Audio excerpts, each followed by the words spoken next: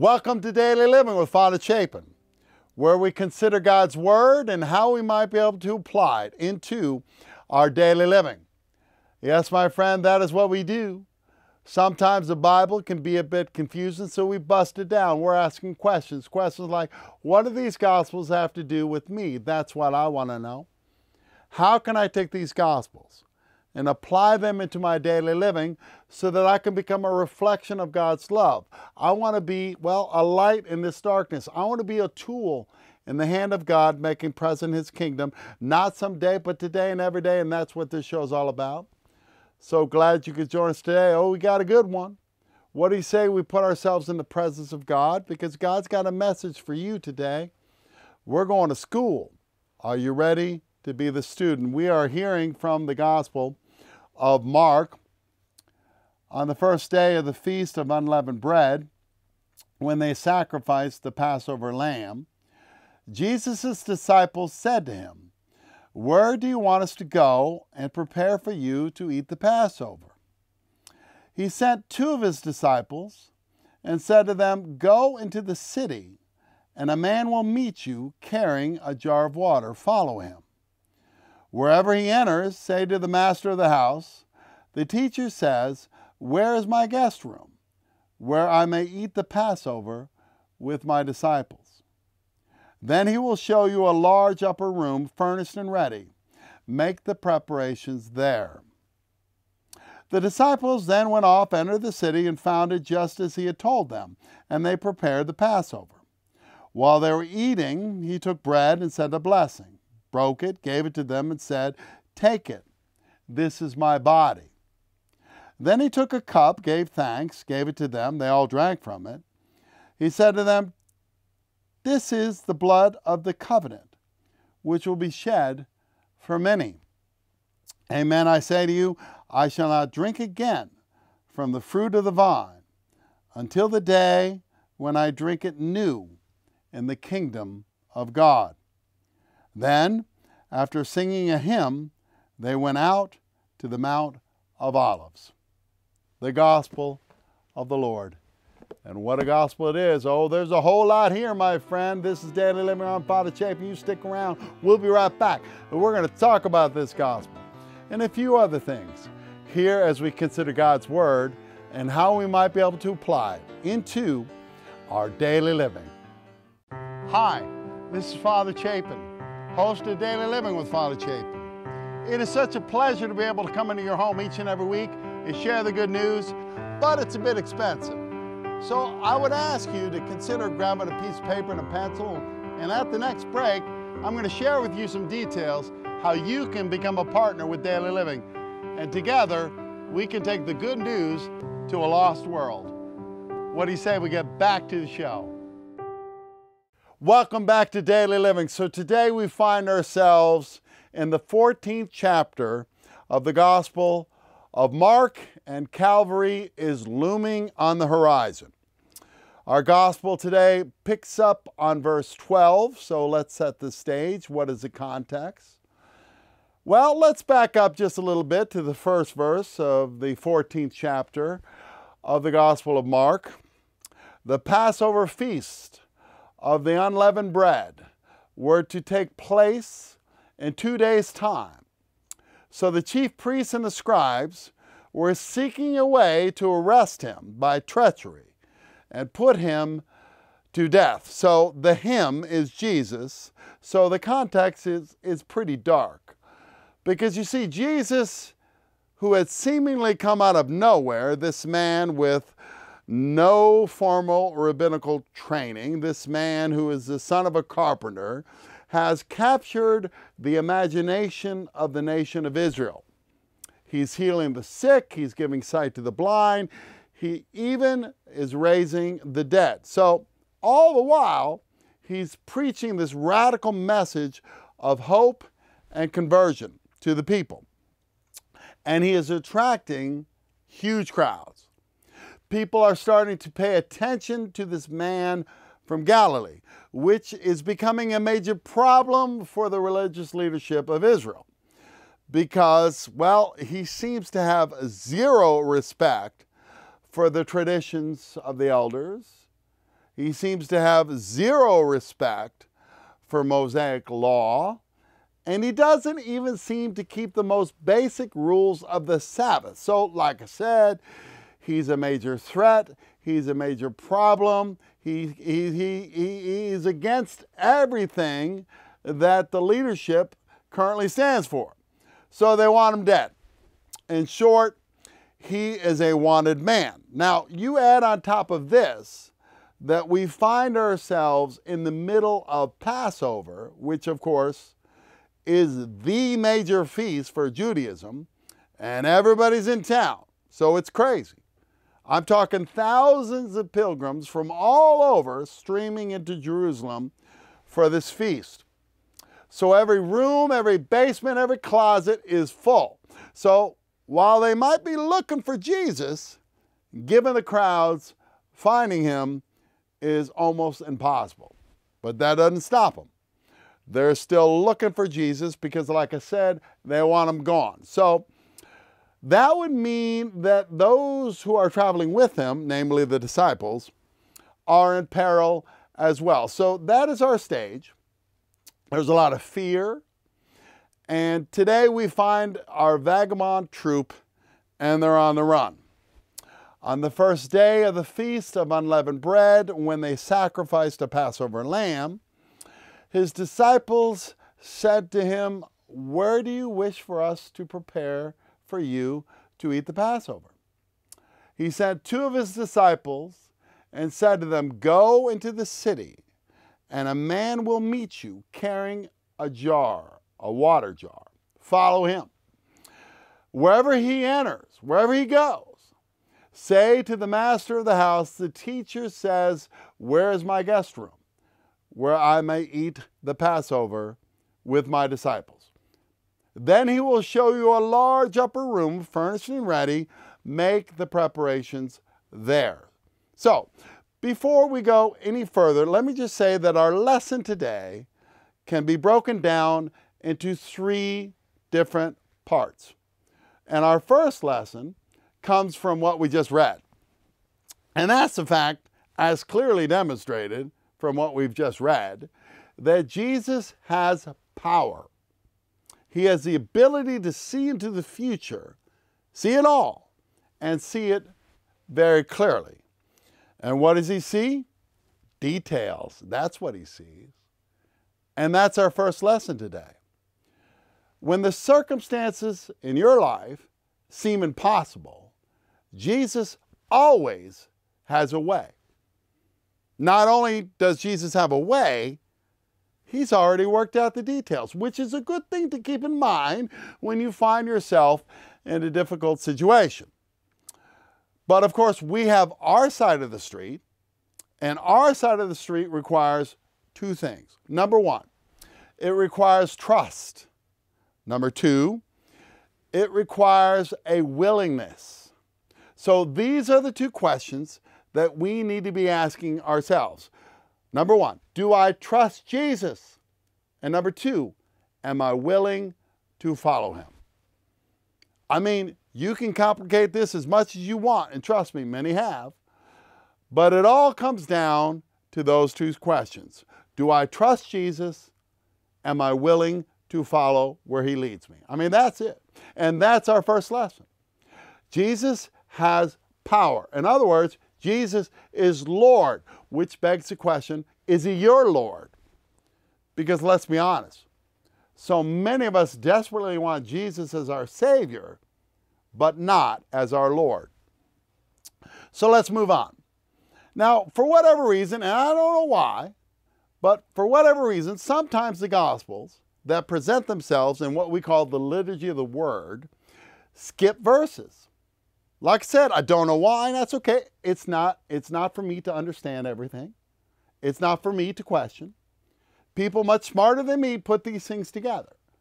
But sometimes, and it's certainly the case today, the gospel skips verses that, well, I'd, I'd kind of like to talk about. So, like I said, today we're in the 14th chapter of Mark, and we have read verses 12 through 16, and then skip to verses 22 through 26. So let's back up and pick up with verse 17. When it was evening, he came to the twelve, and as they reclined at the table, they were eating. And Jesus said, Amen, amen, I say to you, one of you will betray me. Then they began to be distressed and say to him, or among each other, Surely it was not I. And he said, One of the twelve, the one who dips with me into the dish. For the Son of Man indeed it goes, for it is written of him. But woe to the man by whom the Son of Man is betrayed. It would be better for that man if he had never been born. Now, I'm fairly confident we all know who he's talking about here. Oh, yeah, Judas. Just the name, Judas. Have you noticed? Not too many mothers name their children Judas. I, have never met a Judas. I mean, that would be a tough name to go through life with, don't you think? Can you imagine being named Judas? The man who has gone down through history as the one who betrayed our Lord?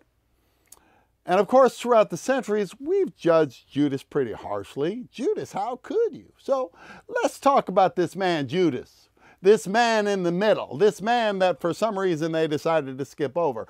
Who is Judas and what exactly was his crime? How did it begin? Well, to answer that question, let's return to our two questions. Do I trust Jesus? Am I willing to follow Jesus? Because obviously, somewhere along the way, Judas lost his trust in Jesus. Somewhere along the way, he lost his willingness to follow Jesus. Somewhere along the way, he walked away from Jesus. And we don't know exactly how that all happened. I mean, we can speculate. What do we know about Judas? Well, we know that not only was he a disciple, he was one of the apostles, the original band of brothers, one of the twelve. We also know that he was in charge of the money, which in that world, as it continues to be in this world, brings power. So I imagine Judas saw himself as a pretty important guy, you know, inner circle of the inner circle.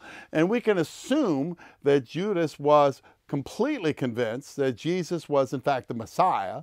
But of course, and we've talked about this many, many times, he had a very specific idea of what a Messiah was supposed to be. In the mind of Judas, Jesus was going to start a revolution in the mind of Judas, Jesus was going to lead the nation of Israel into battle against the Romans and clean house with the corrupt leadership. That's what he's thinking. And I imagine he probably thought that he was going to ride those coattails all the way to the top with Jesus and be his right hand man. Maybe even in charge of the treasury of the entire nation of Israel. So when Jesus starts talking about how he's got to go to Jerusalem and die, well, that doesn't make any sense because guess what? Messiahs don't die. This is Daily Living on Father Chapin, you stick around. We'll be right back. And we will continue to talk about this amazing gospel that comes to us here as we consider God's Word and how we might be able to apply it into our daily living. Hi, this is Father Chapin, host of Daily Living. If you feel like you're being fed by this ministry, I would ask you to prayerfully consider a partnership with Daily Living and what we're trying to do here. A monthly gift of any amount that you feel comfortable with, and I will send you a monthly newsletter, and if you provide an email address, a script of the show prior to its broadcast. Just write a check to Daily Living, P.O. Box 339, Nitro, West Virginia 25143. You can also go on the website at mydailyliving.com and give through PayPal, and together we can shine the light of the good news in a whole lot of dark places. What do you say we get back to the show? Welcome back to Daily Living. Now, just for the break, we were talking about the expectations of Judas.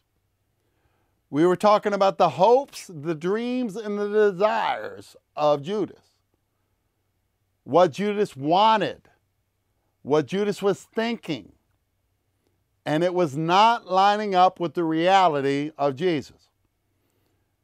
So Judas, you know, he, he can tell which way the winds are blowing.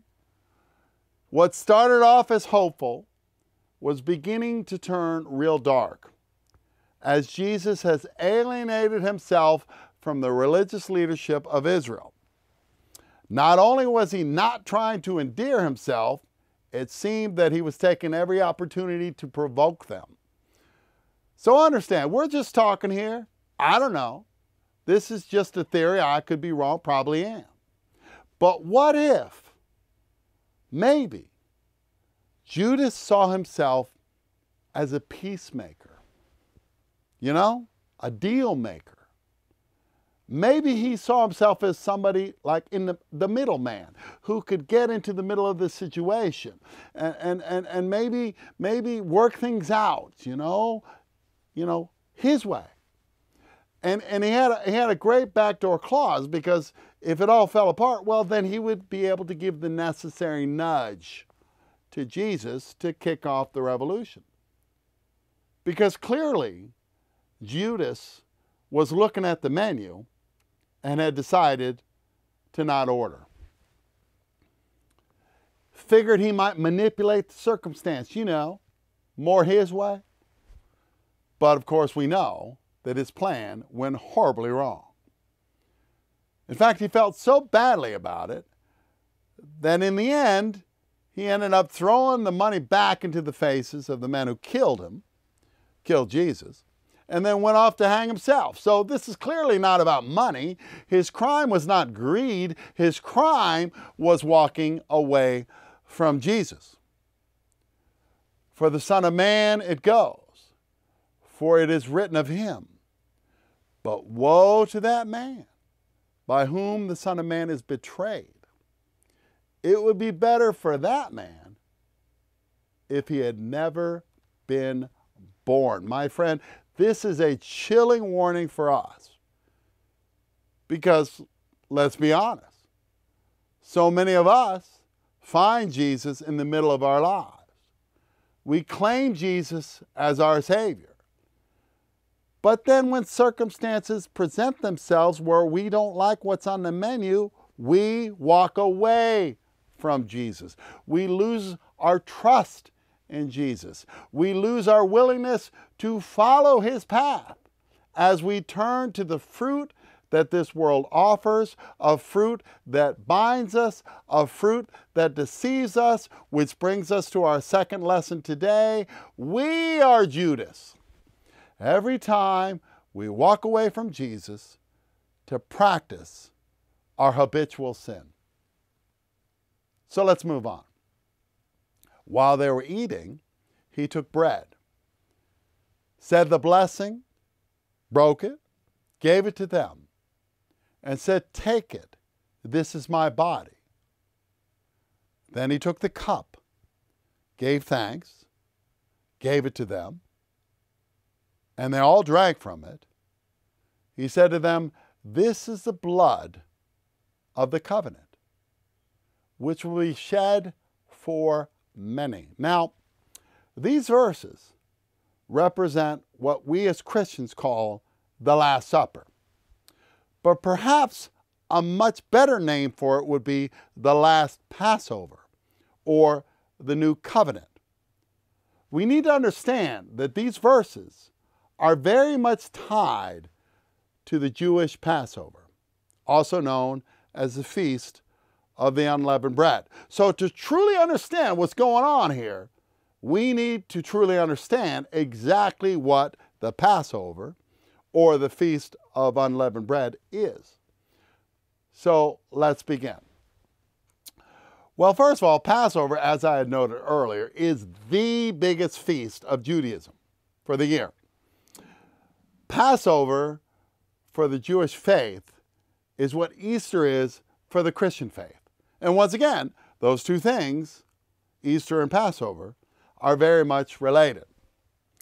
Passover commemorates the story of Exodus. Exodus is a book in the Hebrew Scriptures, or the Torah, a book that we as Christians refer to as the Old Testament, which is a bit of a misnomer because I can assure you that to Judaism there is nothing old about it. Now, some people through the centuries have mistaken well, they have this mistaken idea that the Old Testament is for the Jews and the New Testament is for the Christians. And that's wrong. In fact, they have a name for this. It's called Marcionism, which goes by another name, heresy, meaning that the church has declared Marcionism, this idea that the Old Testament is for the Jews and the New Testament is for the Christians, as a false teaching. Because, my friends, never let us forget, we are Judeo Christians. What that means is that Christianity was born as a radical splinter sect within Judaism. Because I know this might come as a surprise to some, but Jesus was Jewish. In fact, not just a little Jewish, very Jewish. But getting back to the Passover, it celebrates the book of Exodus, what happened. And in case you've never read that book, which I would suggest you definitely take the time to read it, what happened in the book of Exodus was that the people of Israel were taken into captivity by Pharaoh, the king of Egypt. And they lived in captivity as slaves. And they were forced to make bricks for Pharaoh so that the Egyptians could build things. And in their captivity, they cried out to God, and God heard those cries and he chose Moses to lead them out of this slavery.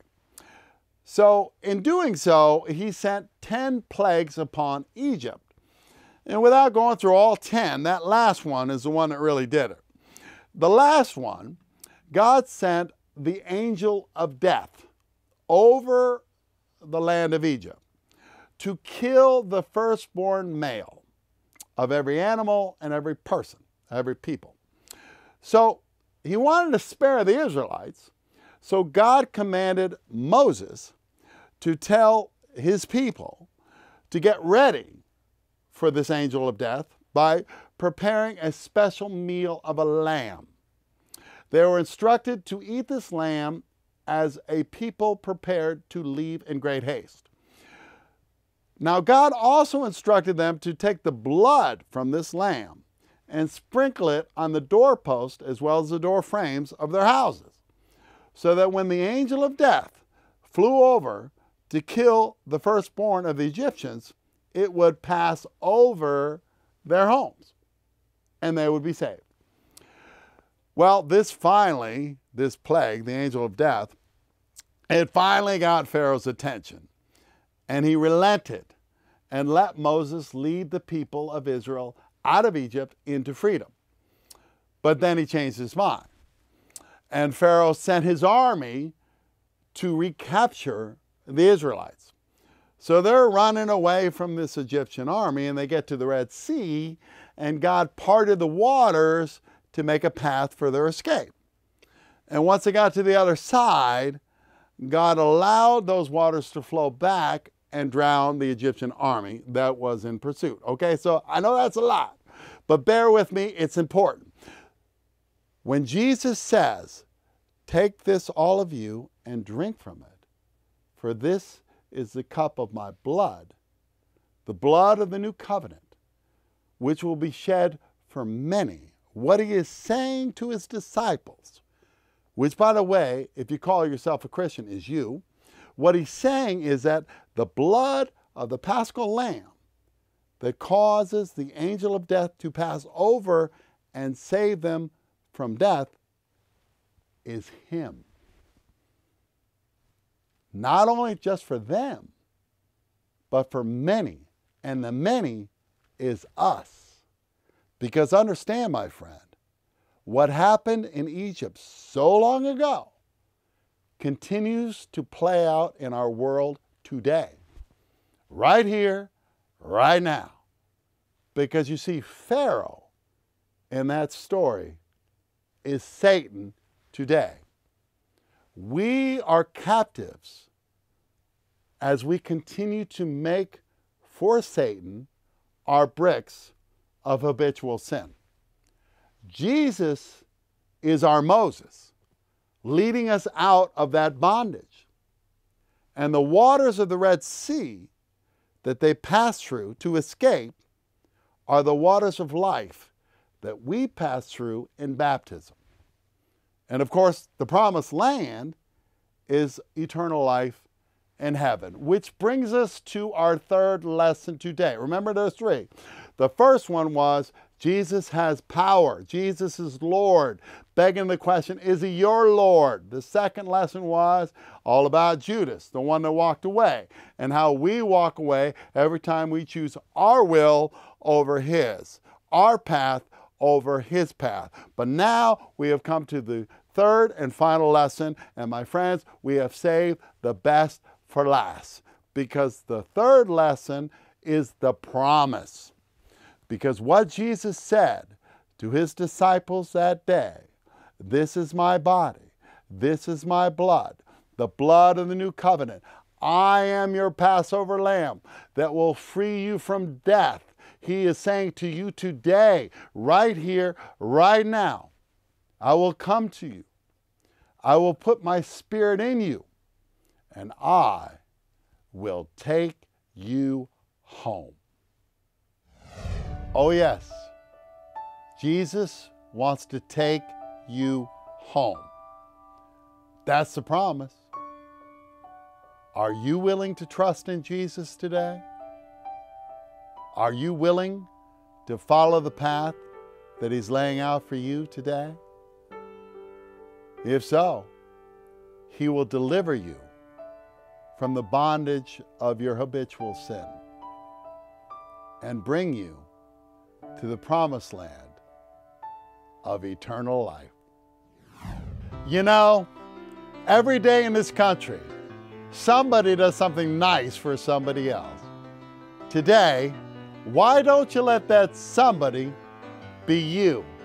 Because the best vitamin for a Christian is B1. This is Daily Living on Father Chapin. Hope you can come back next week and we'll do it again. Until then, I hope you let God live in your life. And I bless you. In the name of the Father and of the Son and of the Holy Spirit.